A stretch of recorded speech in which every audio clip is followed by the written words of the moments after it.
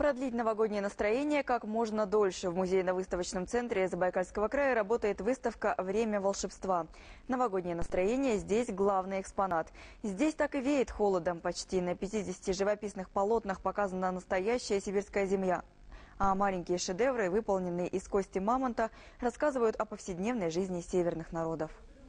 Уни- уникальная коллекция косторезного искусства Якутии, Магадана, Чукотки также нашло, нашло свое место на нашей выставке.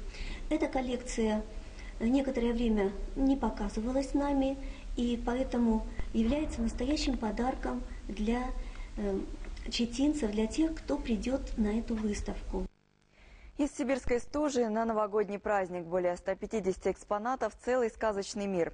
Есть среди них и раритеты. К примеру, читинцы в прошлом году подарили музею елочные украшения 50-х, 60-х годов. Участники праздничной выставки, кажется, находят вдохновение во всем. Например, читинские дизайнеры создали новогодние композиции из подручных материалов.